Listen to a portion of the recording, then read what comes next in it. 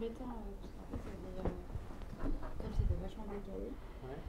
et bah, elle est remonte parce que c'était en fait, il a fait son talk quasiment un peu après de la pause euh, de base quoi. D'accord. Il y a combien de personnes Franchement, elle était là. J'ai pas compté, mais En gros. petite. Mais en fait, elle pas- c'était complètement décalé. c'est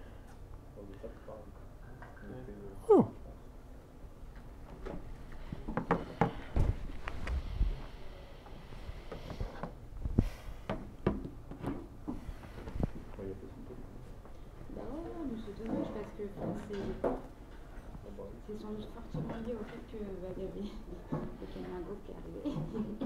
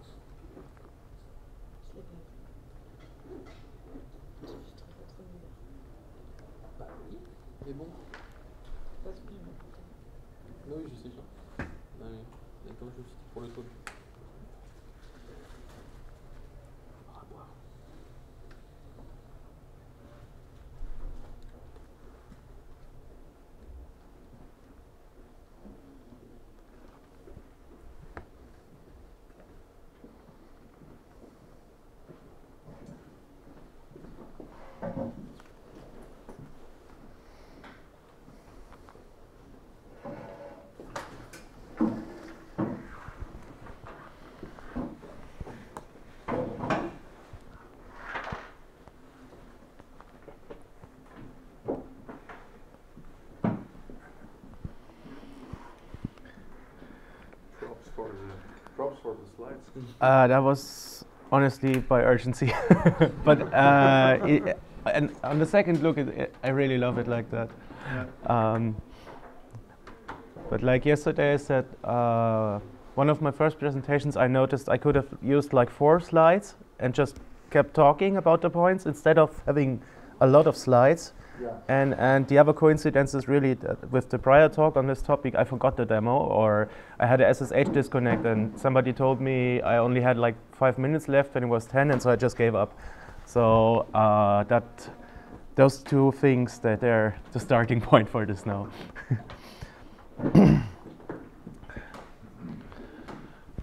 okay.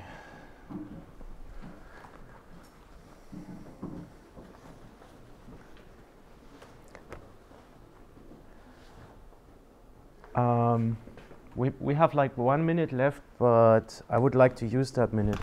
Um, so I'm going to talk about how to deal with multiple operating systems. Uh, is there somebody in the room who runs Unix systems, but they only have one single operating system? Yes? Nice.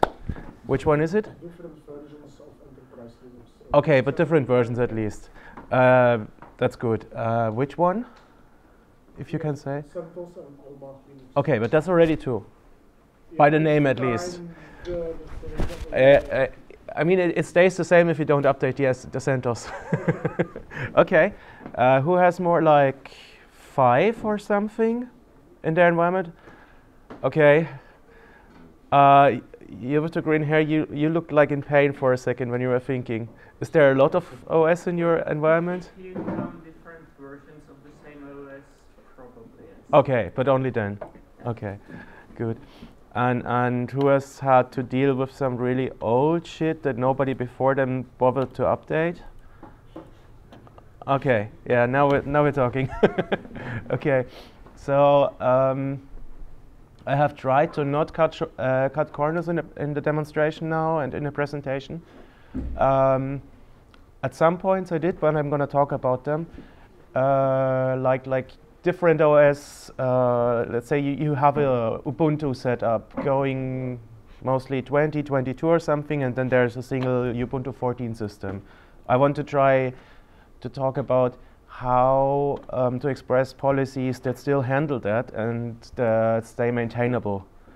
Because in the past, that was uh, stuff that was really driving me crazy. And I think we can start. So, welcome. Thank you for coming. Um, I hope the waffle cart is still there when we're done. uh, but I'm, I'm glad that you came.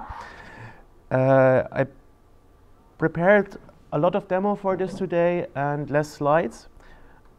Um, and I have to say that due to health issues in the last year, I couldn't over prepare like I normally do. So there's some things that I couldn't put in there, but I'm going to talk about them because I just didn't get around to basically implement it.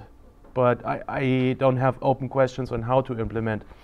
So it's going to be okay, I think. Uh, yep. I think I have to press enter. So uh, we're going to look at the tool stack for running tests and, and doing integrations, and also later about security tool stacks.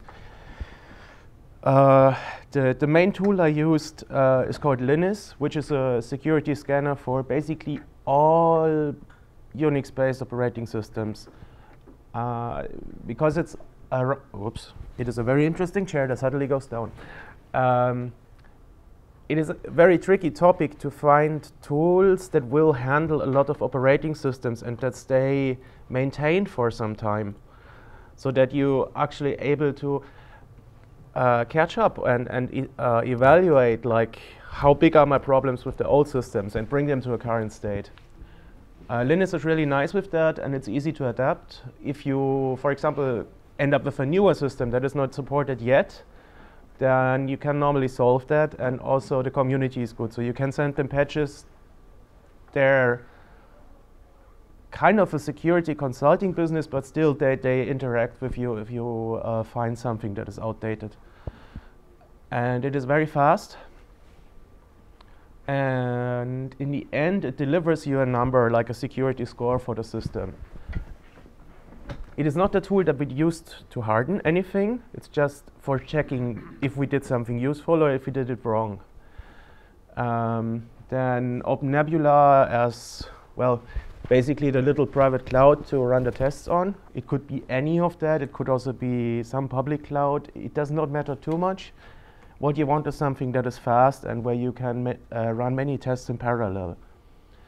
And then, well, on my end for the automation, I used Rudder. Uh, I also looked at the integration with Ansible for that a bit. I can talk about that later.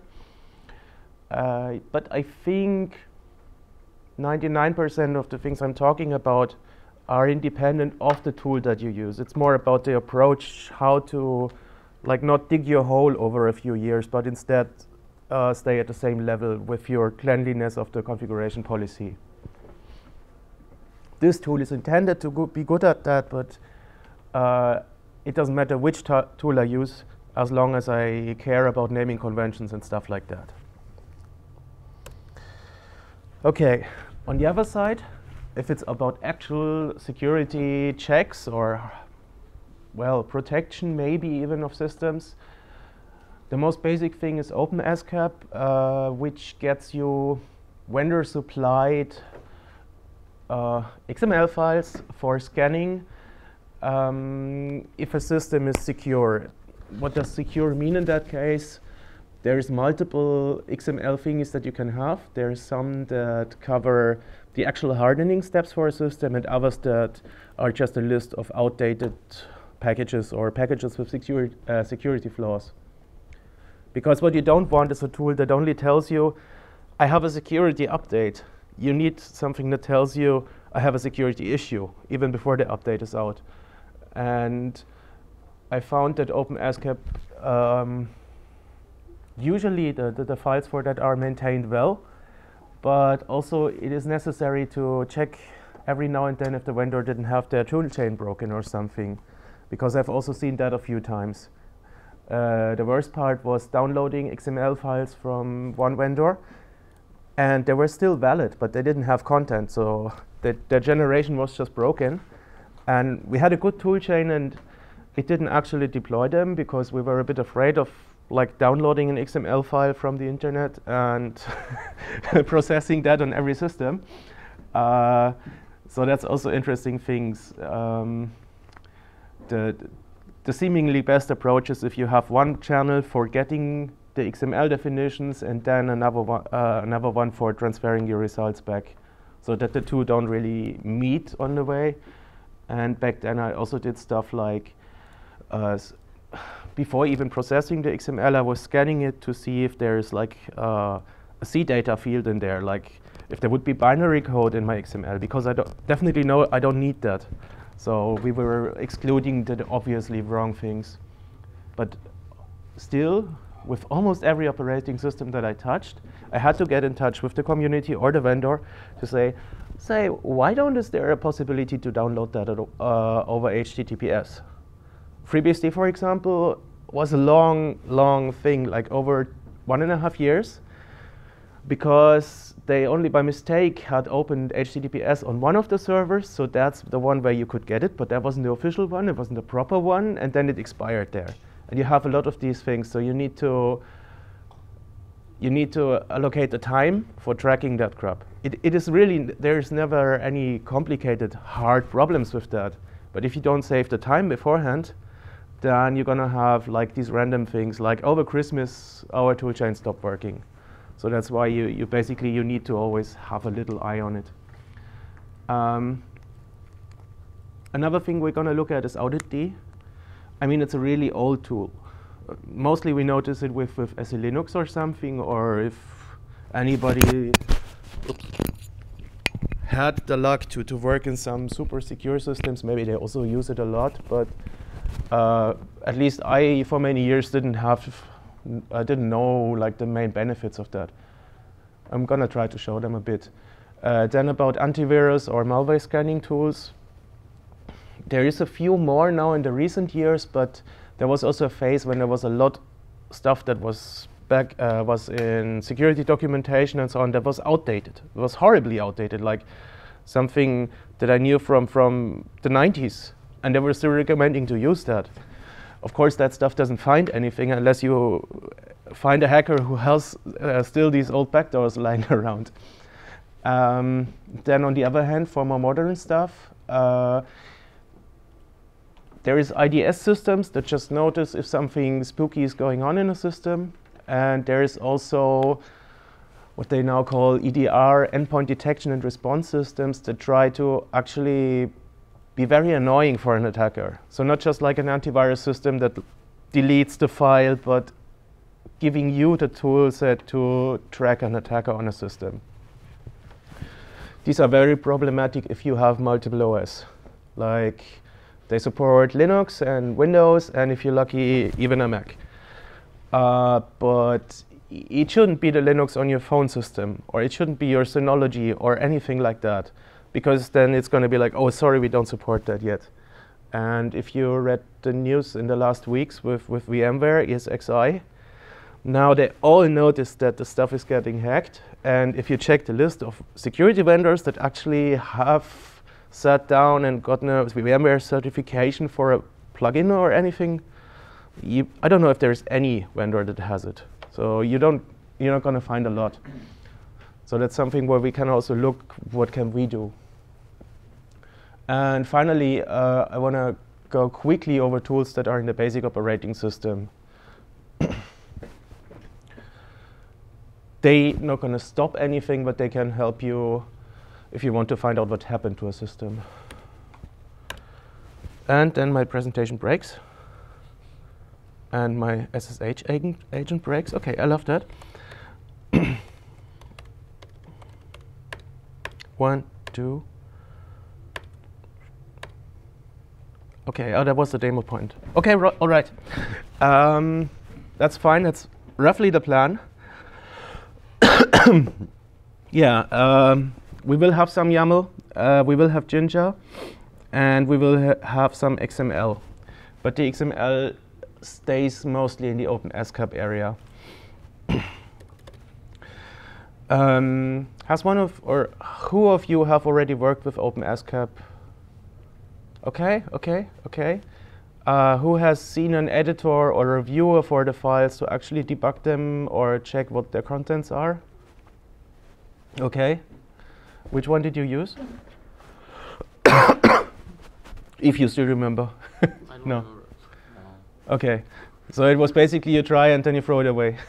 or it was it was evaluated but it was the first draft and I left the company Ah, uh-huh, uh-huh. Okay. So I had tried two or three basic XML editors. I think one was called Escape or something and there was one that took like five minutes to parse the file, and another, another one that was taking three seconds or so. But I also didn't go back to actually looking into the files. But if I would be doing it 24-7, then I would still have to do that. So that's also part of the tooling that you need to look at.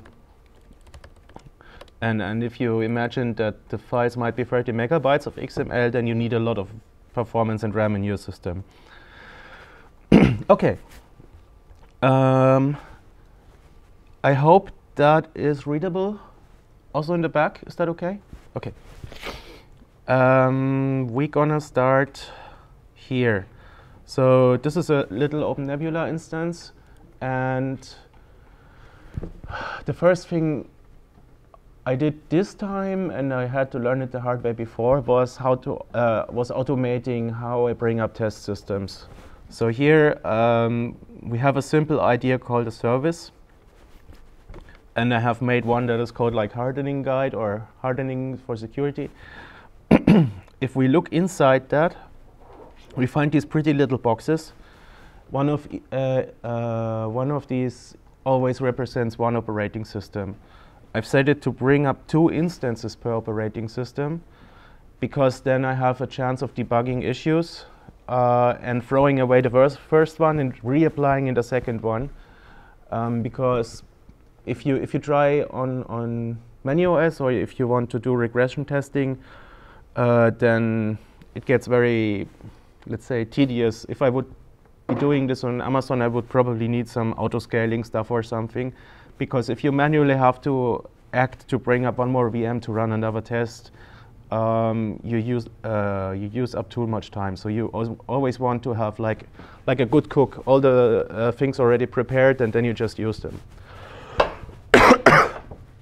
Um, so we, we have a normal Linux SU and one FreeBSD box. I had a FreeBSD 12 also, but that is uh, kind of dated and gave me more trouble than I expected, so it had to go for today. And I've, I've uh, not generated these images with Packer like for the last time, so these are not clean images. This is stuff, well, let's say from the internet. And sometimes multiple updates because I want to have like a, a, long failure chain. I want to actually provoke issues. It doesn't help me if it's easy. um, yeah, that's about all. So now we're going to say we want to launch this. So let's go. Uh, I say one instance, that means that service is supposed to run once. It's, it's for web server stuff or something. You could run more instances but we don't really need that now. um, that's going to schedule these VMs. And here in cardinality, that means normally it should start two of them, and they have a slight bit of dependencies, uh, which I basically only did for the demo now. so normally I launch all of them at once, and here it's going to be like a little stack. So if Ubuntu 18 gets stuck, Ubuntu 20 is not going to run. Um, yeah, and, and uh, I'm not sick. I was just partying a bit too much. Sorry about that. um, so here we start uh, see the VM starting now. They they get like a name that is matched up with some instance of that server. So 38 tries uh, till this day. So we sit here and can check. And I think it's going to bring up a few more, but that should be doing fine. Each of these VMs has a so-called context script, which uh, makes basic settings like installing the Rudder agent or setting up some package repository, stuff like that. I have an alternative thing uh, for if I hit cases where that is not the best thing. so another thing you can do with these services is that you um, they have a name and you can actually like with the Amazon metadata service you can access that name and so I have a little thing that is called cur2bash and if I set up the service name right, I can fetch with that stuff from Git and just run that. So I have made two choices, both very simple. So one is in OpenNebula and all the config happens there. If uh, that doesn't work for me, because for example there's some OS where that wouldn't match, then I can use this way. So that's, uh, let's say, the first lesson I want to pass on. If you build a solution for this for um, doing a lot of a lot of testing of things that might not work. You're not going to be happy with just a CI solution. So you, you need to have a CI where you have like two points where you can plug into it or something. because you will always have one OS or one thing that is not supported, one repository that's not updating anymore. And for that case, it's just good if you have a fallback. Uh, we should be running now. Yes. So the next thing these uh, little VMs do is when they start, they register with the Rudder server. Uh, so we're gonna head here. Currently, it only had two nodes, the master itself, and something called Endgame, that is the Elastic EDR solution. Basically, that's the system where they send the reports to. If I do a refresh, we should slowly be getting a few more. Um, there is a little script that is set up to automatically accept a new node, which hopefully works, or maybe I broke that because I was doing a lot of changes. Um, but I can click it also. the point is normally they uh, automatically register and once they register there's like the basic policy that is predefined that's going to do security settings. But in this case uh, it's only going to do the most light bit of settings, like uh, make sure that audit is installed, or make sure that this. okay, now it, it, has them. I have to wait a bit. Um, so the, the most basic things like checking that the security tools are in place, but it doesn't automatically turn all of them on because I wanted something that um, matches multiple use cases. Like if you're in a big corporation, you might have a banking system that is really critical for security, but you might also have a developer who says he cannot work like that. He needs more internet or something.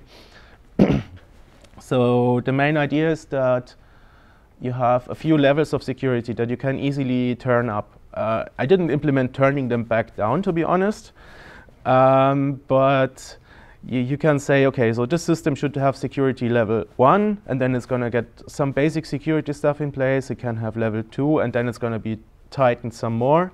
And you could say you want to have a security level three, which then runs the full, I don't know, Department of Defense uh, XML stuff for locking down the system properly. um, let's see, should be all now. Or actually, it's not going to be all because a lot of them are still applying updates at the moment. but the basic thing is we see they're registered with some OS. I'm going to zoom in a bit more. Um, we have here a super outdated OpenSUSE. Uh, we have uh, end-of-life CentOS. We have uh, most current CentOS. And we're going to have a few more that come in later. All of them are going to end up with some kind of policy which is going to be this the most light version. So if we look at that, We get an overview overview of the system. And if we look at that, it doesn't say security anywhere. So that means that's not so safe. if we look inside, uh, we find some basic settings that they're gonna pave the way for applying uh, security tools. Installing the key for Wazuh if I want logging, uh, and it's also gonna do the most basic stuff like setting up etckeeper. So it's already turning the system into something that is maintained, but it's not a full policy. So I, I avoid like this conflict with the end user if they don't want that. They don't. They're not gonna feel uh, what's the word restrained just because etckeeper is there. They're going to be happy because if they delete something, they can recover it. So uh, it's like a, a, bit like a, a, cat walking carefully in the in the slowest level. so if I would go and go to properties here, I mean I can clicky click. I can use an API. It doesn't matter. Uh, and say sec level is one. Then the little, little machine up here is starting, and it's going to adjust that policy. And as I hope that's a good thing for the demo purpose because we can just look at it on the screen, and, and I don't need to dig into any shell stuff or something.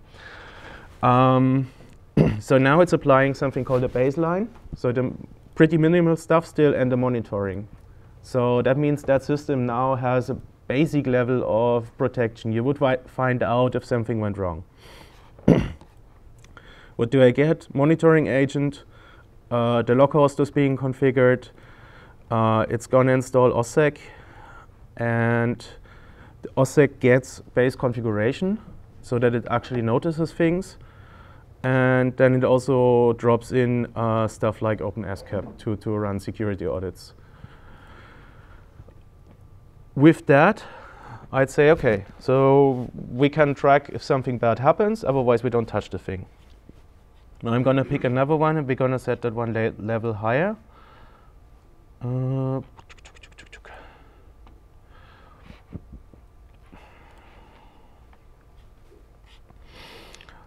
let's say I'm going to be risky. I'm going to try the old one. and we're going to tell this one to go to level 2.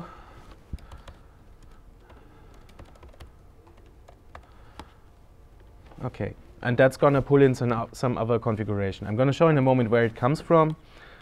Um, going to take a second. Maybe I have to reload the UI for that because this is going to be cached at the moment. Let's see. And of course, I can always make typos. It's one of my specialties, but this looks good. So now it has a one more item which is called restrictions. And this one I didn't prettify yet, so maybe we can try that later. Um, this one locks down file permissions in SUSE. Uh, it suddenly sets up timeouts so that you automatically get kicked out at some point. You get a proper UMask. So if with my sysadmin mind, so this is not an idiot system anymore. This is actually a maintained system. But of course, it doesn't help if I'm happy as, this, as the administrator. It also has to work for the users. So that's why this stuff kicks in really late. I mean, you could have security level 1.5. um, there's hardening for the sysctl suddenly, which is one thing that I would just always delay a bit. Uh, there is some that your security team is going to set up, but for the rest, I wouldn't just put out the most hard settings and then break stuff for people and they have to debug why it's happening. Uh, zypper settings not so important now. Well, a lot of silly stuff. Uh, I had my 90s moment and set up a group that is able to run compilers and other users are not able to run uh, like because if it's just a few clicks or uh, like one template file to edit, why shouldn't I do the basic stuff from 20 years ago? And this one, for example, this is for the cloud images. If you look at uh, Vagrant images from the Vagrant cloud, you should check if the systemd job that saves um, the RNG hash or seed was disabled and what the permissions on that file are. Because that runs on shutdown, so you're not going to see it at runtime, but on shutdown it saves the random seed. And if you download some random image, uh, you might always have the same random, random seed, and that's not so great. Uh, yeah, and that's well. There's a lot more things like that, but it's always the same scheme basically. There is um, stuff for kernel modules and so on. Um, I'm going to show one little example of that on the CLI side. Uh, let's take one of the VMs. I no, no, actually, it should be fine here.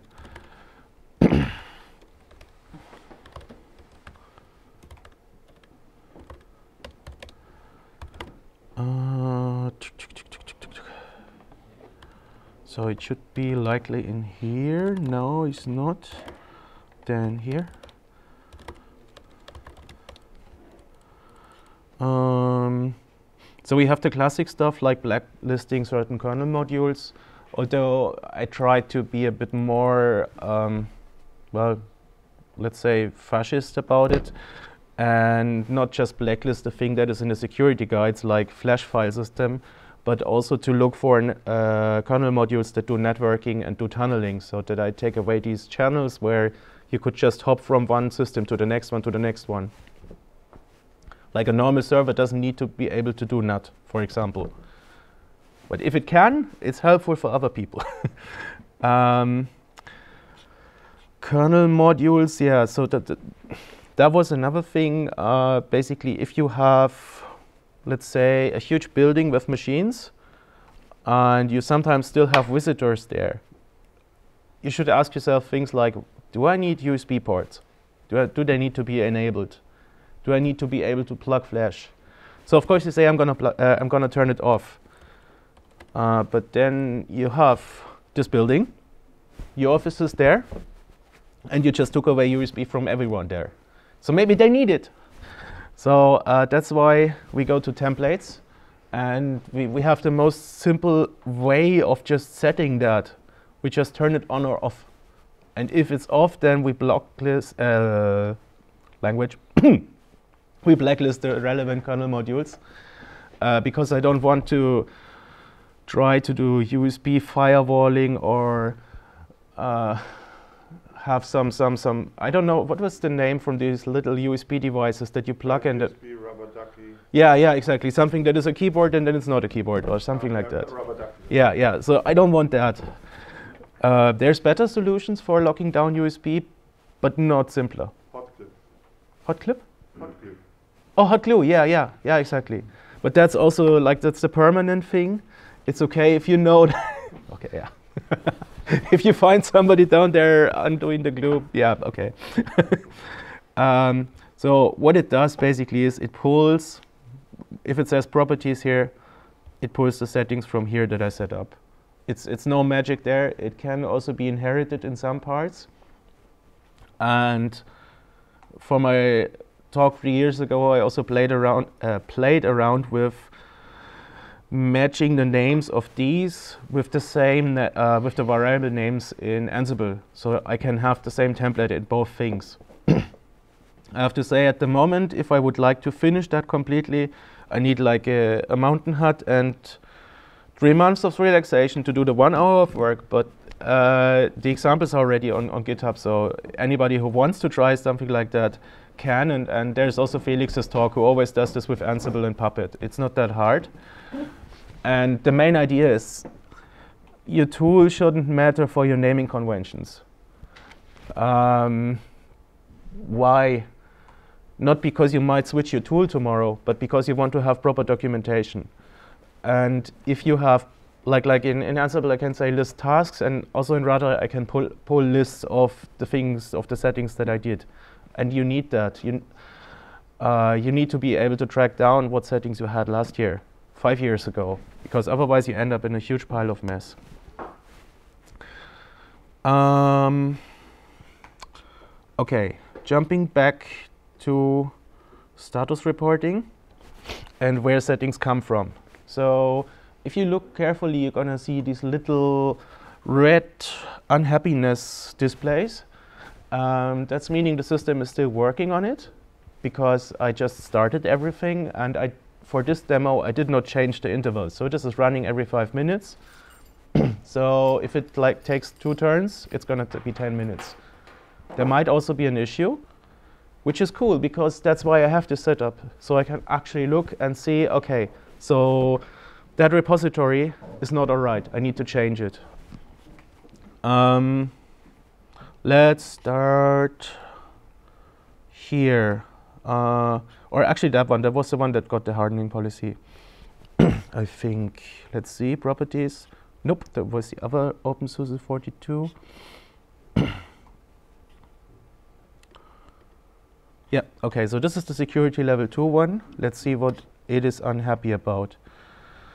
Uh, okay. yeah, so I, I, was trying out StepCA uh, to, to run my own Acme setup and uh, I'm not done with that. uh, it, it, basically, I think it already installed and it used also, I think, the right command for SUSE to, to update it, but that's uh, basically what's going on here. So this is a valid um, error message to me that I have to check and that my code and that uh, spot is not good enough yet. Um, we have the OSSEC scanning. Yeah, so OSSEC packages, I notify, like every operating system version does it different. Uh, if you're on CentOS, I think, on the most recent ones, there is Wazuh and not OSSEC, so you have to switch over. But that's the cool thing. Uh, is the commercial product, but it's exactly the same. So you, you can blindly install Wazuh everywhere, and you get a well-supported um, IDS, uh, yeah, let's say intrusion detection part uh, without any effort. You don't have to compile your shit or something like that, like it used to be a few years ago. And yeah, that's an SSH key being deployed, so it's just not finished yet.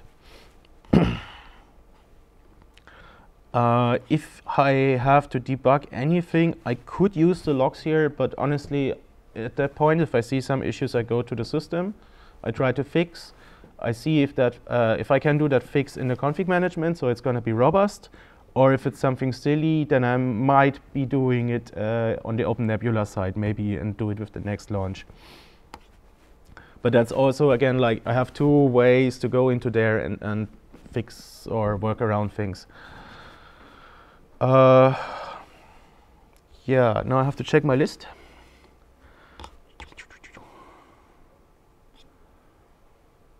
Which is here. Um, mm -hmm. So for the EDR thing and antivirus and auditd. Okay, yeah, I get it.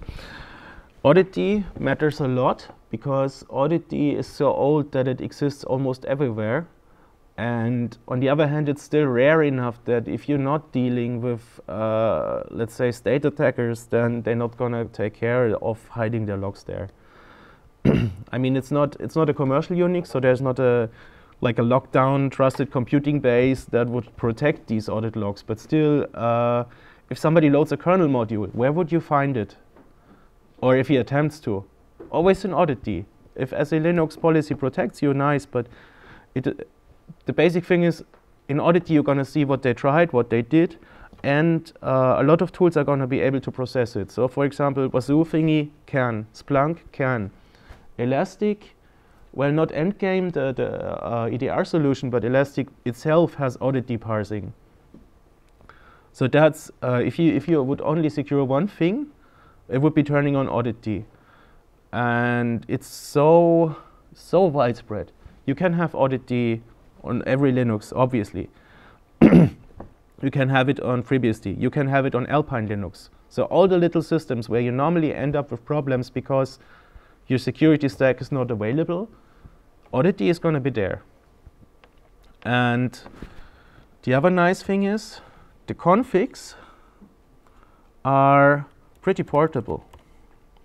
So this config, uh, I, I, think I, I ran on 10 or 15 uh, different uh, operating systems. That's a base config to say the system should not crash if the disk gets full and auditd cannot log. Because there are systems where you want that, but normally not. and on the same end, you can easily plug in OS dependent stuff. You can merge things. So uh, and you, you find well-documented rule sets. I mean, uh, what I've done here is that normally, if I look through the through the security guides, I'm also gonna write my notes. So you won't find a line where I couldn't track back why did I put that in there. Otherwise, you're also gonna lose, especially if you want to compare between operating systems. So maybe that line here, I don't know, is not very applicable on FreeBSD. Maybe there's another one that, that I would need. But if I don't make my documentation here, I'm not going to find it. Uh, and then, yeah, be paranoid with that. So if somebody, for example, runs KExec on your system, you should know. Like, if you get a different kernel, it's nice from them, but maybe you didn't like it. And the, the few use cases where you do that, you can filter it. If you have time to make it work with systemd, and then it works. Um, yeah, and, and so it's uh, the, the whole policy here is also not uh, like not the military use case. It looks at obvious abuse. So my, my, my, my main mindset is always like, if that happens and somebody asks me why didn't you spot that, it's so fucking trivial. That should be in there. Anything else is not a base policy, is not where you start. But these things where you're like, oh shit, that should be in here.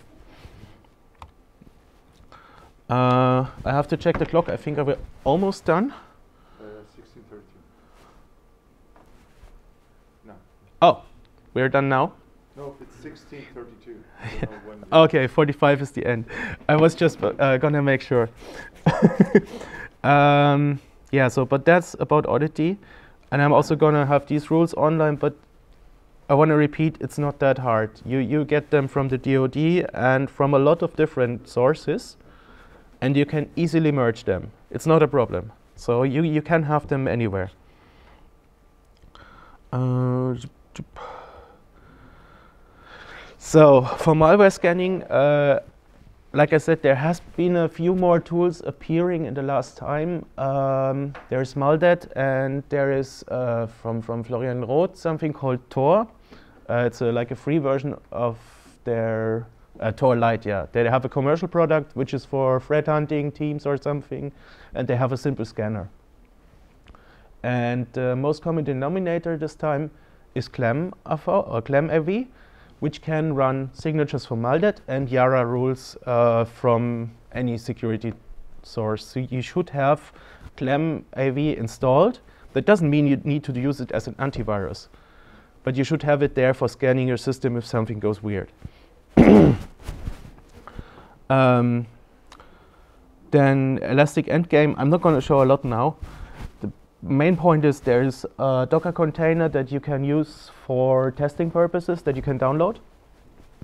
You need like two minutes to start it and then 20 minutes maybe for making your policy. I'm going to show that.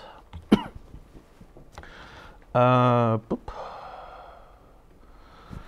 so this is Elastic uh, Security, I think is the name now. It was a different product called Endgame before they bought it. and the basic parts are for free, which means uh, it's basically my modern antivirus for my laptop plus more. there is a commercial edition which has machine learning and stuff like that. But uh, it is not CrowdStrike. So their input volume is like, I'd say, I don't know, one ten thousandth of something of, of CrowdStrike. They have 600 rules and I use Zimbra for my email and I had to adjust the rules for running uh, for for working with uh, email software with ten thousands of installs. Uh, they're not done with the base policy yet. But on the other hand, if we go back to this point of, well, did I skip anything that would have been really silly, trivial, trivial to do? Okay, install it. it's it's gonna block the most stupid thing, and uh, and you get the nice clicky clicky features of modern tools like I don't know let's see if I have some alerts. I hope so. Yeah okay oh no that's events wrong wrong point No, uh, we're unlucky, so I don't have a recent alert for some reason. Normally, it always has a false alarm. Maybe I fixed them.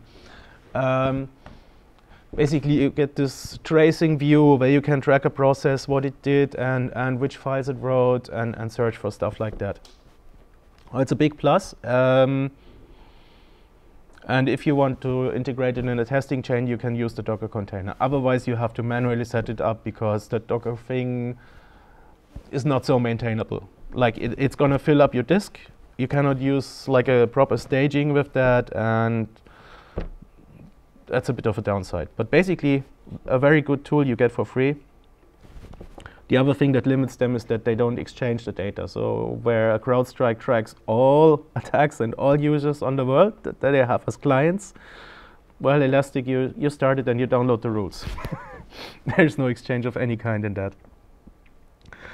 Okay. Um, yeah, so validation and permissions, very quick. Um, if you have any suspicious stuff, that has gone on, you're going to figure out, okay, I can use RPM or debsums to validate our files on the system. Or on FreeBSD, uh, FreeBSD update IDS. The thing is, you shouldn't start doing that when something happened, because you're going to have to do some uh, list editing. You're going to have to know like your normal exceptions that are always there. Otherwise, you're going to have trash for data. So that's like per operating system, if you do that, you need like five minutes on a base install to, to manually scan, okay, this is bad, this is good, and to build your baseline. So if you deploy a new OS, that's something you should do. And of course, if you run hardening, there's going to be a lot of config files with changed hashes afterwards. So that's another reason why you should check those first. And for the permissions, uh, I've not found good solutions for Red Hat. SUSE is absolutely awesome in that part, and I don't use SUSE. Honestly, I don't, but that is awesome. You have like one config file where you can set up the file permissions for every file that gets installed via RPM. It doesn't matter which package it comes from or anything like that. And you drop that file, you say, I think, chkstat or something, and it applies all the security settings. And that means you, you can have a pre-tested uh, file system layout with all the files or important files locked down as you want them. And it takes, I don't know, two seconds. So it's a bit faster than SE Linux. Uh, I think. Yeah, that's it from my side. Um, I, I, would stop and, and if somebody wants to ask something, I'm very happy to answer. Yes? Not so much a question as a remark. yeah. If you, um, if you have a centrally managed infrastructure uh, in terms of attack, uh, transpa attacker transparency and things like that, I can only recommend uh, GRR. Mm -hmm. It's a great tool, but you install a an agent that can do fucking anything mm -hmm. on the mm-hmm. system, so you have to really nail down. Yeah, yeah, yeah. That's the server. Yeah. So, so you open a door. Uh huh. Which you, you must be certain that only you can yeah. open. But GRR is a great tool for for forensics. Mm-hmm. Uh, after the fact, or to determine if something happened. Mm-hmm. So um, I, I can only recommend that. But again. Yeah. Here be dragons. So. Yeah, these remote channels are uh, sometimes a bit scary. or actually they're scary the whole time. The only difference is uh, that is a remote channel where you normally have a known good user, yes. while the other thing is always a bad one. But yep. yeah, um, if you can watch Alexi's talk from yesterday, yeah. because they locked down what the agent of Rudder can do. Okay. Uh, I mean, I, I can still nitpick things and say, yeah, yeah, but you, you could, like, I don't know, generate a SE Linux policy that only whitelists or allows the things that you have in the policy. Okay, I, I can do everything if I have unlimited time, but still, uh, it's the same with config management. That's why I'm saying it. So it is not just security tools. Uh, there is nothing better for pivoting than the Git repository with the GitOps stuff or anything like that that's our reality, and, and we have to do what we can. Anything else? Anyone else? Okay. Then thank you for your time. Uh, enjoy the rest of the config management camp. Thank you.